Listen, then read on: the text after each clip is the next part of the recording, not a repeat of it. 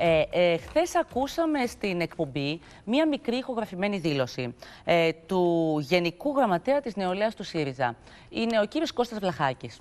Ε, αμέσως μετά την εκπομπή το απόγευμα, ο κύριος Βλαχάκης έκανε μία ανάρτηση στα social media, ε, τη οποία ανάρτηση υποστηρίζει ότι δεν γνώριζε ότι τον ηχογραφούμε. Εντάξει. Μάλιστα. Θέλω να δούμε πρώτα την ανάρτησή του, παρακαλώ.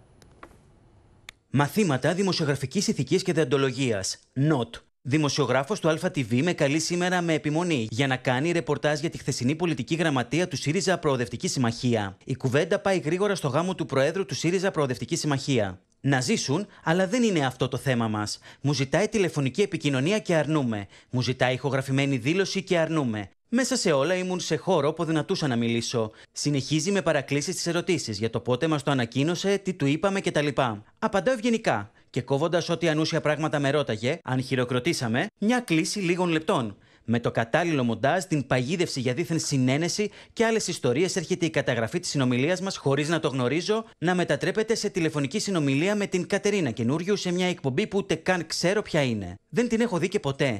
Η εκπομπή είναι σίγουρα μακριά από τις αισθητικές μου επιλογές και δεν την προτιμώ. Με καλημερίζει κιόλας η αγαπητή παρουσιάστρια και συνεχίζει με μια σύντομη μονταρισμένη καταφανώ δήλωσή μου. Προφανώς επιφυλάσσομαι για κάθε νόμιμο δικαίωμά μου. Λοιπόν, ε, ακούσαμε ότι ο, ο κύριος Βλαχάκης μιλά για παγίδευση, εντάξει, και για ηχογραφημένη συνομιλία που δεν γνώριζε.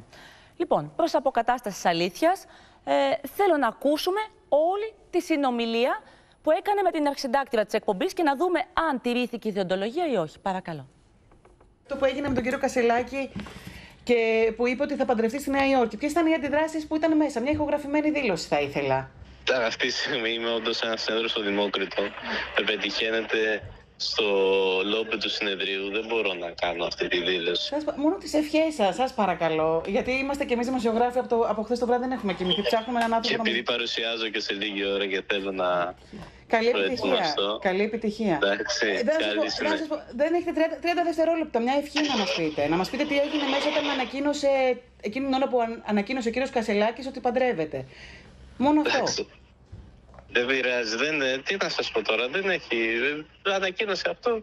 Εντάξει, τι να, Ανα- να δηλαδή, ζήσουμε. ε, Να είναι εγώ- ευχ- ε, ευτυχισμένοι. Δεν μπορούμε να πούμε. Τι να πούμε. Μπορείτε να μου το πείτε για να το ηχογραφήσω. Πετε μου μια δήλωση μόνο. Ε, δεν μπορώ τώρα, γιατί είμαι με άλλο κόσμο δίπλα, ούτε μπορώ να το φωνάζω, ούτε μπορώ να ακούγεται αυτή τη στιγμή. Αυτό δύο λόγια, σας παρακαλώ, δεν είναι αρνητικό. Άμα θέλετε, βάλτε αυτό, να είναι ευτυχισμένοι, να ζήσουν. Ε, εντάξει, τι άλλο. Την ώρα που σας τα ανακοίνωσε μέσα στη συνεδρίαση, πώς αντε, αντίδρα- αντέδρασαν ε, οι συμμετέχοντες; Ε, φυσιολογικά, τι πάει, πώς αντέδρασα. Χάρηκαν όλοι. Εντάξει. Χειροκρότησαν, ήταν χαρούμενος ο κύριος Κασελάκης. Τώρα αυτές οι ερωτήσεις τώρα δεν έχουν και πολύ νόημα. Σας είπε ότι είναι ο Ναι, γάμος σωστό. σήμερα; Σας είπε ότι ο γάμος είναι σήμερα; Ναι, ναι.